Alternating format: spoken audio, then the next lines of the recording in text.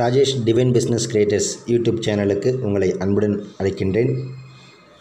வீடியோக்குள்ளே போகிறதுக்கு முன்னாடி நம்ம சேனலை சப்ஸ்கிரைப் பண்ணி பக்கத்தில் உடைய பெல் பட்டனை கிளிக் பண்ணுங்கள் வாங்க வீடியோக்குள்ளே போகலாம் உங்களுடைய சுவாரஸ்யமான தகவல் நிறைய காத்துட்ருக்கு. அனைவருக்கும் என்னுடைய அன்பு வணக்கங்கள்.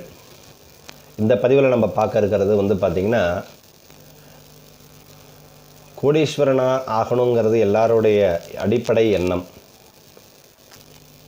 எல்லாருக்கும் தான் வந்து கோடீஸ்வரனாக ஆகக்கூடாதுங்கிற ஆசை இல்லாமல் இருக்கும். எல்லாருக்கும் கோடீஸ்வரனாக ஆகணுங்கிறது தான் ஆசை. சரி அதில் ஒன்றும் தப்பு கிடையாது.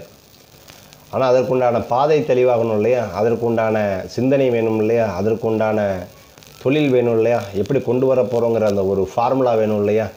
எல்லாமே சரியாக இருந்தால் பகவான் அந்த ரூட் அமைச்சு கொடுப்பார்.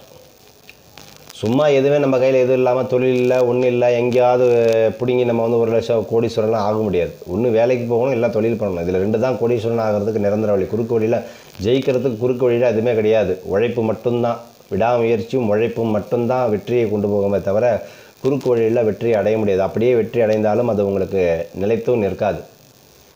அதாவது ஏன் அப்படி சொன்னாங்க அப்படின்னா ஒரு தெரியாத வேலையில் கொண்டு போய் ஒரு நபருக்கு வந்து திடீர்னு ஒரு கூரை பிச்சு கொண்ட மாதிரி ஒரு அதிர்ஷ்டம் அப்படிங்கிறது வந்துருச்சு அப்படின்னா அவன் வந்து அதை வச்சுட்டு வந்து செலவு தான் பண்ணுவானே தவிர அதை ஆடம்பரமாக அனுபவிப்பானே தவிர அதை வளர்த்த தெரியாது.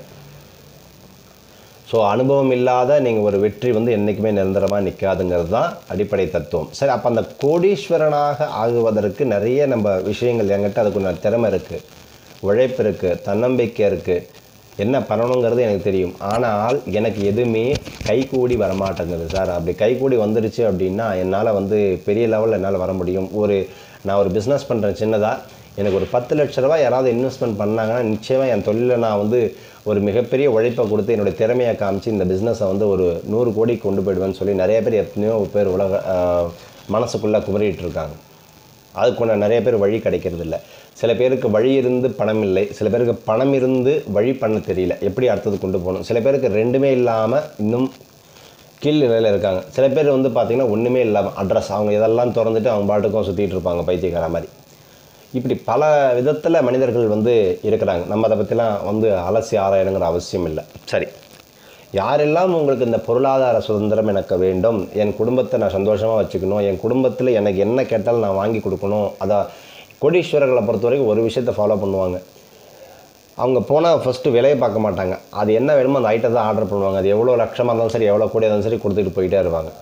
நம்ம அவங்க நம்ம என்ன பண்ணோம் அப்படின்னா ஒரு இட்லி எடுத்தோம்னா இட்லி எவ்வளோ போட்டிருக்கோம்? முப்பத்தஞ்சு ரூபாய் நாற்பத்தஞ்சு விலையை தான் பார்ப்போம். ஏன்னா நம்ம அந்த விலையை பார்த்து தான் நம்ம பொருளை சாப்பிட்றோம். அவங்க அப்படி கிடையாது. அந்த பொருளுக்கு எவ்வளோ விலையாக இருந்தாலும் கொடுக்க தயாராக இருப்பாங்க. அப்போ அந்த மனநிலை தாங்க அங்கே பிரச்சனை.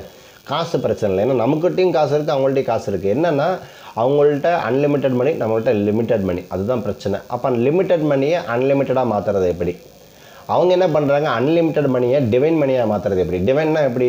அன்லிமிட்டட்னா சொல்ல முடியாத அளவுக்கு படம். டிவைன் மணின்னு அப்படின்னா உலகத்தில் இருக்கக்கூடிய அத்தனை படமும் அவங்கக்கிட்ட இருக்கும் அந்த மாதிரி சில மனிதர்களும் இருக்கிறாங்க.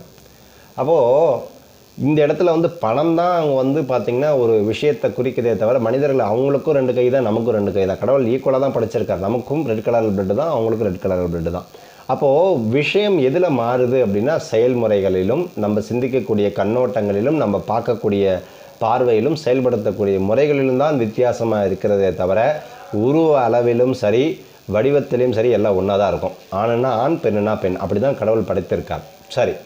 இப்போ இந்த சில மந்திரங்களை வந்து நம்ம பீஜ மந்திரங்கள் இருக்குது எப்பயுமே வந்து மந்திரங்கள் வந்து பீஜ மந்திரங்கள் ரொம்ப சக்தி வாய்ந்தது.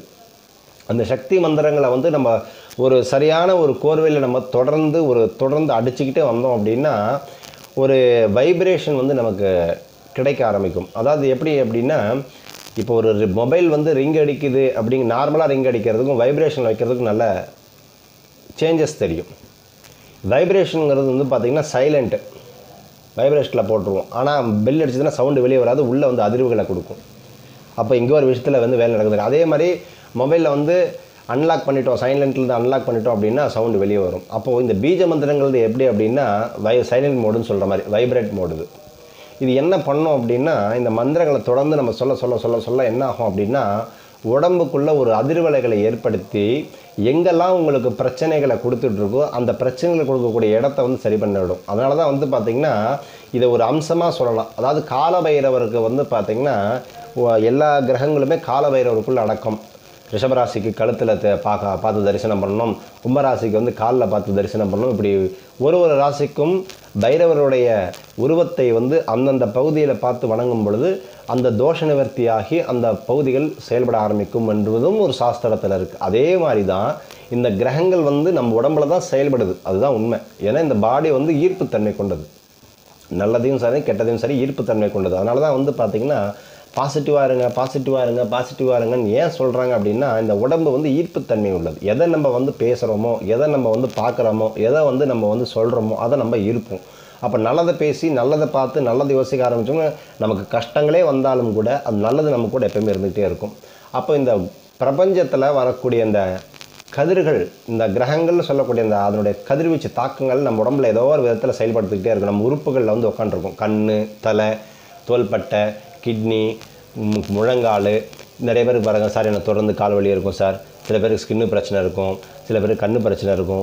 இதெல்லாம் எங்கேருந்து நடக்குது? உடல் உடலுக்குள்ளே ஒரு செயல்கள் நடந்துகிட்ருக்கு ஏதாவது ஒரு இட ஏதாவது ஒரு இடத்துல வந்து பிரச்சனை கொடுத்துட்ருக்கிறதுனால தான் அந்த பகுதியில் அது பிரச்சனையை கொடுக்குது. அப்போ அந்த பகுதியில் இருக்கக்கூடிய பிரச்சனைகளை சரி செய்து அந்த மனிதனை வந்து நார்மலாக இருக்கக்கூடிய மனிதனை அசாதாரண மனிதனாக கொண்டு போய் சேர்க்கக்கூடிய மந்திரம் தான் இந்த பீஜ மந்திரங்கள். அதாவது இந்த பிளாக்கேஜஸ் எல்லாம் ரிமூவ் பண்ணி கொடுத்துரும். நமக்கு வரக்கூடிய தடைகள் எல்லாம் ரிமூவ் பண்ணி கொடுத்துரும். அந்த அளவுக்கு சக்தி வாய்ந்தது இந்த பீஜ மந்திரங்கள். இந்த பீஜ மந்திரங்களை பற்றி சொல்லணும் அப்படின்னா அது ஒரு பெரிய ஹிஸ்ட்ரியாக இருக்குது இப்போ இந்த மந்திரத்திலே பிரசித்தி பெற்ற மந்திரம். அத்தனை மந்திரங்களுக்கும் அதிதேவத்தை வந்து பார்த்திங்கன்னா காயத்ரி. அதனால தான் வந்து பார்த்திங்கன்னா காயத்ரி மந்திரத்தை சொல்ல ஆரம்பிச்சிட்டோம்னாவே நம்மளுடைய கர்மாக்கள் வந்தோம்னா விலக ஆரம்பிச்சிடும் காயத்ரி மந்திரத்துக்கு அவ்வளோ சக்தி இருக்குது ஏன்னா வேதங்களுக்கெல்லாம் அதிபதி காயத்ரி. அப்போது எப்படி நம்ம வந்து சொல்கிறோம் தெய்வங்களுக்கெல்லாம் அது தெய்வம் பரம்பொருள் இந்த உலகத்துக்கு ஆட்டி படைப்பவனே இந்த மும்மூர்த்திகள்னு சொல்கிறோம் இல்லையா? அதே மாதிரி தான் இந்த மந்திரங்களுக்கெல்லாம் அதிதேவதை காயத்ரி. ஆக காயத்ரி தேவியை மனசார ஜபம் பண்ணிவிட்டு எந்த மந்திரம் சொல்கிறதுக்கு முன்னாடி காயத்ரி மந்திரத்தை சொல்லிவிட்டு அதுக்கப்புறம் அந்த மந்திரத்தை சொல்ல ஆரம்பிச்சிங்க அப்படின்னா மந்திரமானது பழிக்க ஆரம்பிச்சிடும் ஒன்று ஏன்னா அந்த மந்திரத்தை சொல்ல சொல்ல சொல்ல சொல்ல ஒரு மந்திரத்தில் இருக்கக்கூடிய அந்த வைப்ரேஷன் நம்ம உடம்புல இருக்கக்கூடிய கட்டுகளை வந்து அவிழ்க்க ஆரம்பித்து வேலை செய்ய ஆரம்பிக்கும். ஸோ அந்த மாதிரி ஒரு மந்திரத்தை தான் நம்ம இதில் பார்க்க போகிறோம் விநாயகனுடைய கோடீஸ்வரனோட மந்திரத்தை நம்ம சொல்ல போகிறோம் இந்த ப இந்த பதிவில். ஏன்னா சில மந்திரங்களை வந்து உச்சரிக்க ஆரம்பிக்கும் பொழுது பரமேழையும் கோடீஸ்வரனாக உருவாகுவதற்கு அந்த சூழ்நிலையை உருவாக்கி கொடுப்பதற்கு ஒரு வாய்ப்பு ஏற்படுத்தி தரக்கூடிய மந்திரங்கள் தான் நிறைய பொக்கிஷங்களாக சித்தர்கள் கொடுத்துருக்காங்க.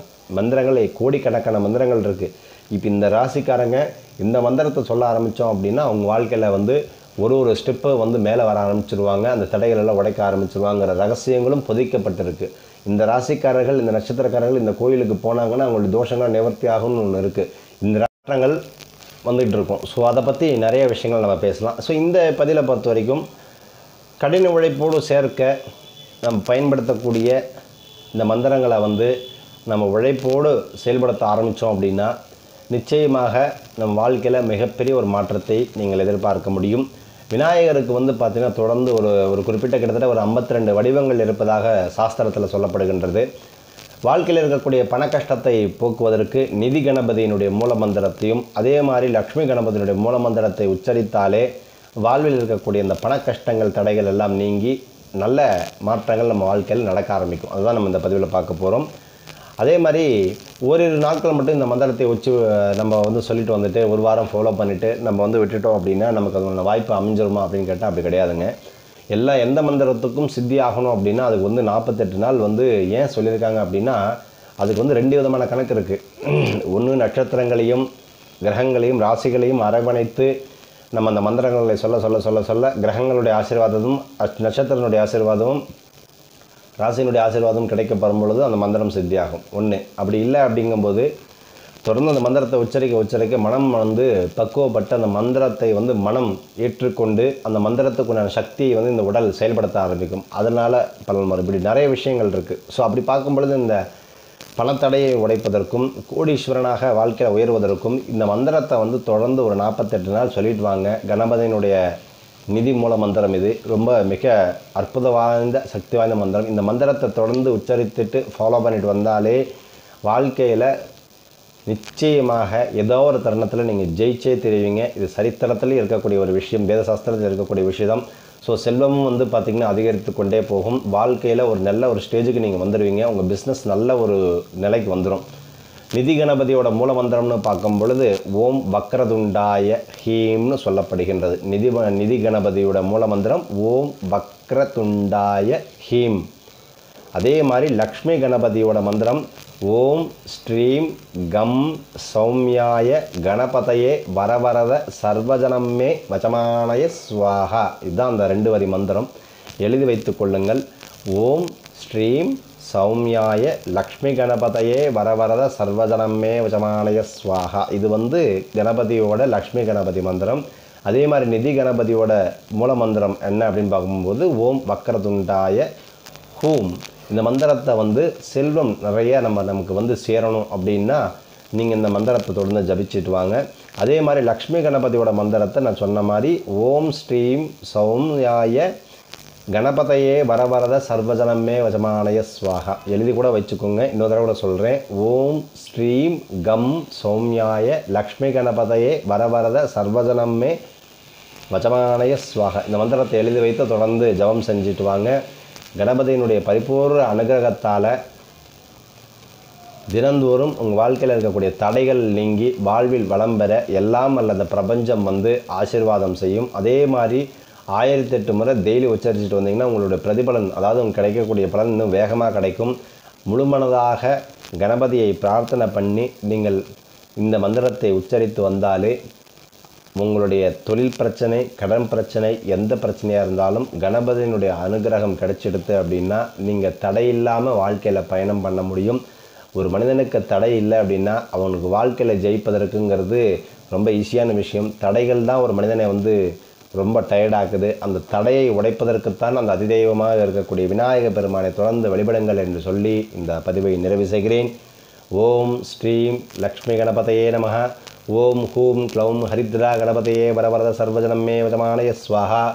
ஓம் க்ளௌம் கங்கணபதையே வரவரத சர்வஜனமே விதமானய ஸ்வாஹா இது மாதிரி பல வகையான மந்திரங்கள் கணபதியை பற்றி நிறையா இருக்குது ஸோ அன்பு அன்பர்கள் அடுத்த பதிவுகளுக்கு சுவாரஸ்யமான தகவல்களுடன் உங்களை சந்திக்கின்றேன். வாழ்க நலமுடன். நற்பவி நற்பவி நற்பவி அனைவருக்கும் நல்லதே நடக்கட்டும் என்று சொல்லி இந்த பதிவை நிறைவு செய்கிறேன். வாழ்க நலமுடன். குருவே சரணம்.